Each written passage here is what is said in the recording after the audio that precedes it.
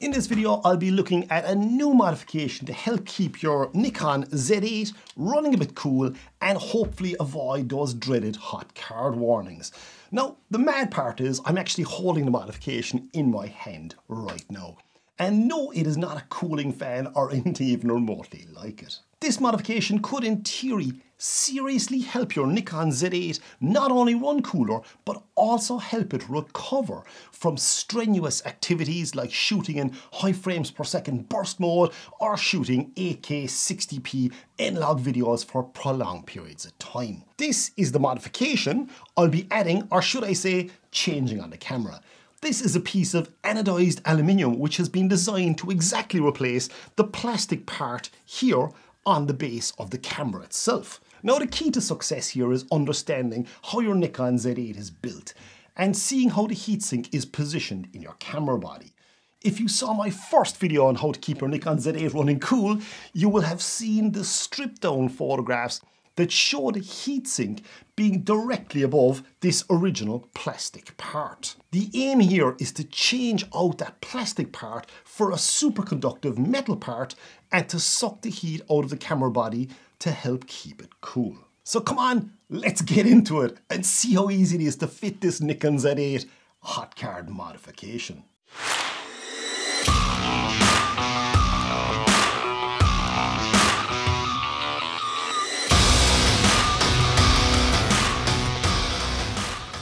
Before I go any further, let's have a quick look at this piece and the immense detail a Facebook friend of mine has got into to actually design this. And you can only just imagine how many countless hours he spent measuring and remeasuring this, never mind to fabricate it to such a perfect level. So well done to my friend Catalin. Um, I think that's how I pronounce your name. I'm really sorry if I got that wrong. It's C A T A L I N, as far as I know. So it's Catalin. He's um, he's a photographer. He's based in Romania. Now, if you want to get this modification piece yourself, then you can email Catalin directly yourself. I will leave his details in the description below. Now, I should also say I paid for this part myself, and I was very happy to do so. I have no affiliation whatsoever with Catalin other than simply being friends with him on Facebook. I'm just like you, I just want to keep my Nikon Z8 running as cool as I possibly can and avoid those hot card warnings. Now this modification is not endorsed by Nikon and you do it at your own risk, but it's super simple to do. Just simply unscrew 8 screws, pop it on and screw them back on along and away we go. If you connect a camera cage, this will act as an extended heat sink with a larger surface area, it's going to help dissipate the heat even more. So that's going to really help cool your camera and it's going to help suck the heat out of the camera body even faster. So it means your camera will be able to recover quicker. So before we fit this, I'm going to test the camera first as it is in room temperature here now today. And I'm going to be doing a lot of different tests. So what I'm going to do is I'm going to fit my Nikon Z8 camera cage onto the actual camera itself and I'm going to test it with the back LCD just pulled out slightly. Again, that's just one of the tips I found from my previous tests, which again, the video link for that is going to be down below in the description, so please do check that out. Now, all these tests will be shot at 8K 60p in N-Log in high detail mode at ISO 4000 and the camera is going to be shooting moving subjects, continuously moving subjects. So it's going to be really stressing the camera to the absolute max. The card I'm going to be using then is going to be a ProGrade Gen 4 512GB CF Express card. So that is going to be fast enough to be able to record the 8K 60p and because it's a Gen 4 card it's all going to be it's also going to be slightly more thermally efficient. It's also quite reasonably priced too as well. But um, yeah, so that's basically, but it's going to be the same card, the same settings for all my tests.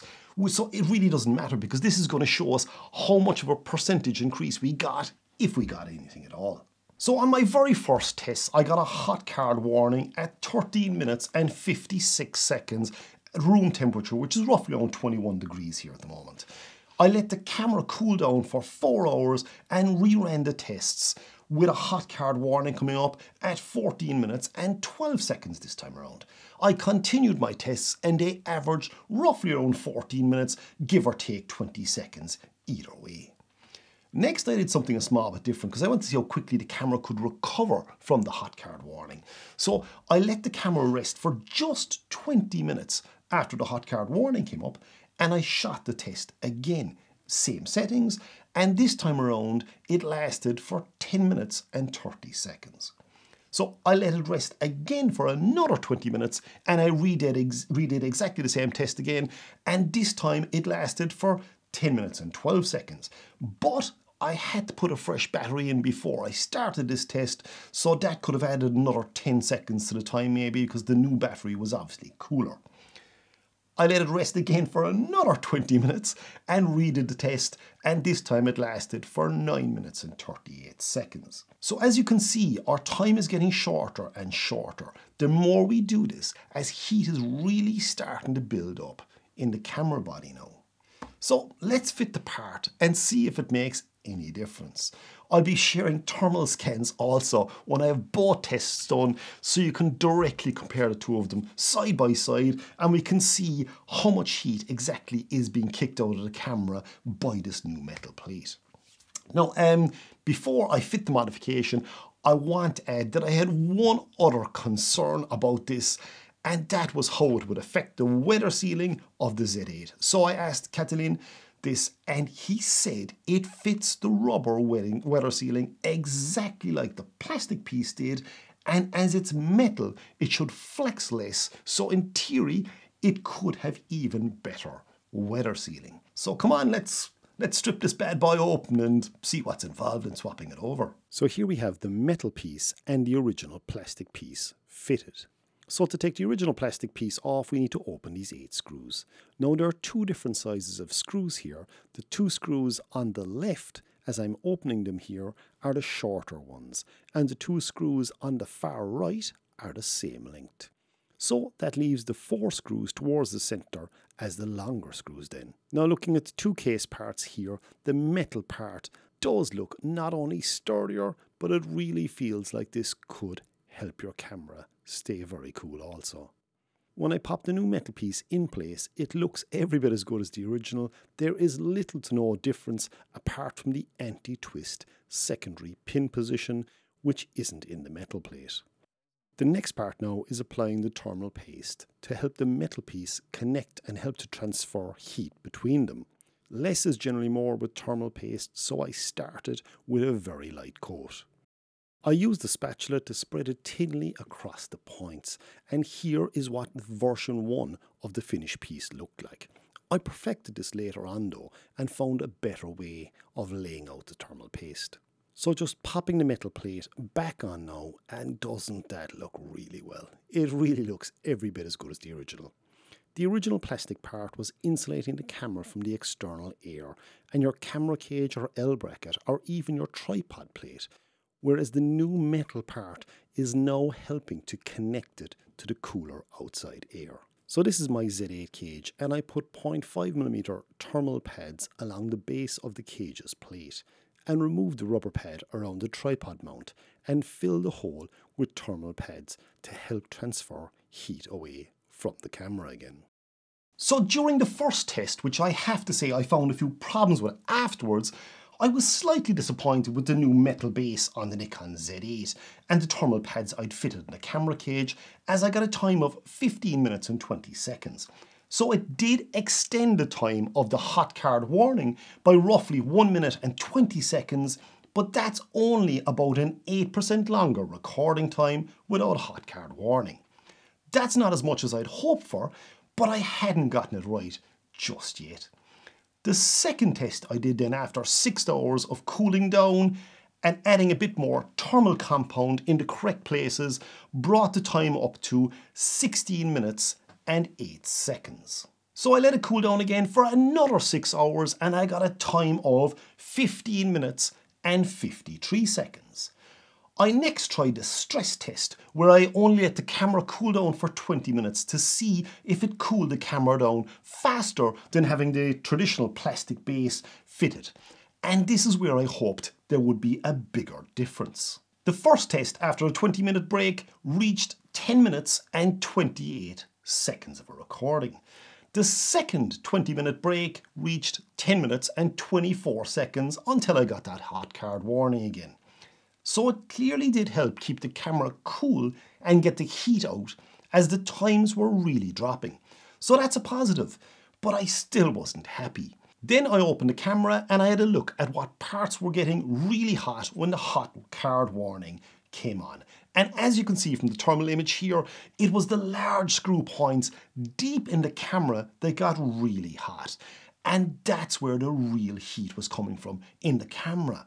So what I decided to do was I put a bit more thermal compound on the threads of the screws and I also put more thermal paste on the chassis to the left and the right of the tripod mounting place, plate and this is where I noticed a bigger difference. On my next test I got a time of 17 minutes and 13 seconds on the first recording and this was a nice difference over the 14 minutes with the default camera base fitted. So that's approximately 25% of an increase with the modification fitted. So now we're finally getting places and you can see why this is important. I let the camera cool down for 20 minutes again and redid the test with it reaching 10 minutes and 55 seconds on the second test, which is close enough to my original test results with the plastic part. And that surprised me. The one thing I did notice here though is that the camera cage itself was now getting warmer than it used to get with the plastic part fitted. This all means the heat is obviously being sucked out of the camera more now, which is a serious positive. On my next test, after waiting 20 minutes again for the camera to cool down, it made it to 11 minutes and 15 seconds. Now, the thing you have to remember here on all this is the camera was actually sitting on this felt pad I have on my desk. So the base was actually isolated as such. So I thought to myself, for the next 20 minute test, I'm going to try something different. And I mounted it on a tripod as soon as I started recording. And I got a time of 11 minutes and 21 seconds which is an increase in recording time, which is not what I was expecting. So in the next 20 minute stress test, I had the Z8 on the tripod while it was actually cooling down. And for that recording, it lasted for 11 minutes and 59 seconds, which again is a further extension of the recording time. And that's over two minutes of a time increase compared to the non-modified test results. So again, that's a nice bonus. Now, these test results are in my control settings here with my card and you could very well get different results where you are, which is why I'm concentrating more on the percentage increase rather than the time increase. In my far more detailed initial Nikon Z8 cooling video, I talked about the HDMI port and the USB ports and how they seem to be getting really hot, as you can see here with the covers on. Now a little side tip for you here is to connect a HDMI and two USB-C cables even if you don't use them, as they also help to get the heat out of the camera body and should help the camera recover. So I had a thought, if the heat is getting out faster, and if 4K recording on the Nikon Z8 cooks or kind of heats up the camera at a slower rate, then how long would a standard 4K test run for without a hot card warning? So I set my camera to 4K 30p to simulate a normal recording Again, after a six hour cooldown period, I put a fresh battery into it and I set it recording. Now, crazily, Z8 ran for an hour and 15 minutes before the card was actually filled. So I quickly went into the menu, formatted the card, and set it back recording again. And the camera continued to record for another 25 minutes and 19 seconds until the camera shut off because the battery died. But there was still no hot card warning it. Monitoring the temperature on the camera, the camera was still running fairly cool. It was nowhere near hitting that hot card warning zone. So as far as I'm concerned, I would think you could easily run that for another 30 minutes in these conditions. So that is two hours of 4K 30p recording without any hot card warning coming up on the camera in my situation here. So for me, I said, look, that's definitely going to work perfectly for me every single time. Once you start with 8K 60p though, like I did in most of these tests, you will run into issues after a while. But again, a different card might help there. And of course, lower ambient temperatures in the room will also seriously help. Now, I also ordered a dummy battery from Neewer for the Nikon Z8. It's supposed to be arriving today. It's actually going to arrive in the next 20-30 minutes, I believe. So I'm going to be trying that too as well to see is that going to make any bit of a difference to help keep the camera a small bit cool, cooler because the camera battery does also generate heat as it's being discharged inside in the Z8 itself. So that could be contributing to the heat buildup. So that's going to be an interesting one. And just as I say that it's going to be arriving today, I heard a van pull up outside, so I stopped the recording and here it is. So this is the dummy battery for the Nikon Z8. I'm just going to pop it open here now and have a quick look. But uh, this is supposed to work beautifully in the Z8. Uh, so pull this out and have a look and see. So yeah, that's the battery itself. And here is the D-tap connection on the end. Oh, there's actually a clip on that. So yeah, D-tap to an EN EL15C battery. So I'm just going to grab my V-mount battery and just make sure it works now as we're at it. Just to pop the battery into the camera itself, I'm going to slide that in and then on the bottom here, there's a small little door down here. So the actual cable can stick out the side and I can leave it like that. And what I can do is just plug this into the D-tap connection on the battery and I'm going to switch this on now and there we go. That's the camera on working. So the Nikon Z8 working via V-mount battery via a dummy battery connection. So that works beautifully by the looks of things. And um, yeah, really interested to see how that goes. Just a pity it didn't arrive yesterday, so I could have put the test results into this video too as well. So here we have the proof and the thermal images, and they are side by side now with the original plastic-based images to the left and the modified metal-based images to the right. They were recorded after one hot card warning was reached. I then switched off the camera and took it out of the cage and measured the temperatures on the base plate. The white arrow indicates the temperature of 32.9 degrees Celsius on the plastic part, and the metal part then on the right shows 40.2 degrees. So you can see there is a big difference there already, and the metal plate is going to suck a lot more heat out of your Nikon Z8. Looking at the camera cage temperatures after a hot card warning, and the base is at 27 degrees on the plastic one and 30.9 degrees on the metal one. On the side of the camera cage you could see the temperatures again differ dramatically and I record temperatures of over 33 degrees at this point on the cage with the metal base installed of course. Again at the top of the cage there is over 4 degrees of a difference so the cage is actually acting as a large heatsink for the camera. You could clearly see the tripod head is starting to heat up here now too, with the modification installed. This happened with a camera cage fitted, an L bracket and just a tripod quick release plate installed. As I mentioned in the video, connecting USB-C cables and HDMI cables also help to remove heat from the camera body, as you can see here by the temperatures recorded on the cables themselves. Finally, this is the camera cage after four stress tests in a row and you can see it really is heating up the cage completely. So here you can see the final image of the thermal paste and I went a lot more liberal with the thermal paste here, especially to the left and right of the camera base itself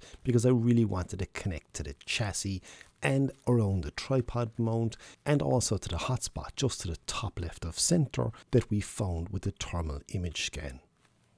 And yes, a different card might yield different results, but the point of this test is to see how the modification would, would how, how it would impact on the heat buildup in the camera. Now, I'm going to be continuing these tests and I plan on modifying the USB and HDMI cooling system too as well to see if I can get it running for 20 minutes without overheating and to get it recover even faster and get longer recording times after the 20 minute break. So if you have any thoughts or ideas, I would absolutely love to hear how you're helping to keep your Nikon Z8 running cool. Or is there something else out there, some little trick out there I've missed? And if you'd like to see part 3, please do let me know. And also don't forget to like, comment and share on this video because it really helps to get this content out there and it might help someone else cool down their Nikon Z8. So um, thanks again for watching and see you out there.